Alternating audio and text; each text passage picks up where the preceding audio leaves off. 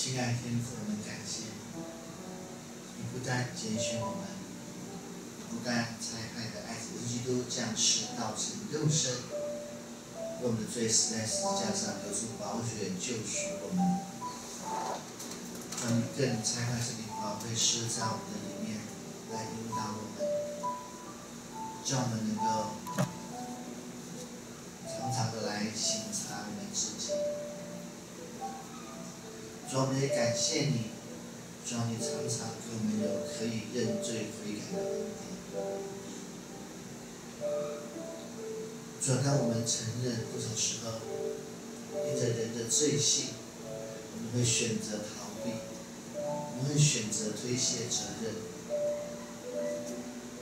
但主，当我们这样做的时候，其实我们正在一次又一次将你给我们可以。翻转的机会丢弃了，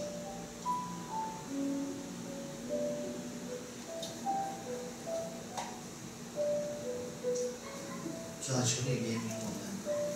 在今天的早上，我们有这样的机会，我们众弟兄姊妹同到你面前来，再次将自己降服在你面前，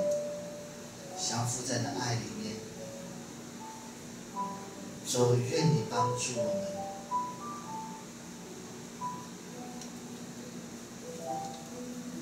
真知道，主啊，你虽有公义可以审判万民，但你有恩典慈爱可以怜悯众人。所以，只叫我们真实知道，当我们在认识你的时候，我们不害怕来承认我们的错，因为我们深知道，主啊，你虽会按着我们的错误来提醒我们，甚至责备我们。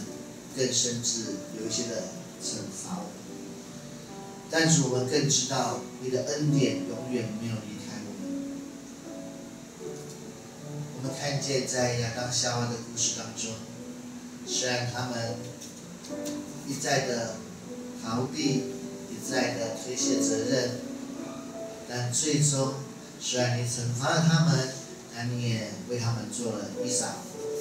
所以我们就看见你是慈公义的神，你也是慈爱的神。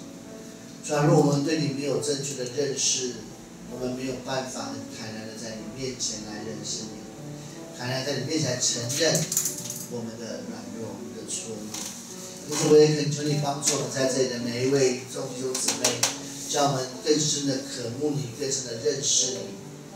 转因我们知道，当我们认识你的时候，就能够做出正确的决定。那就是不逃避，不推卸责任，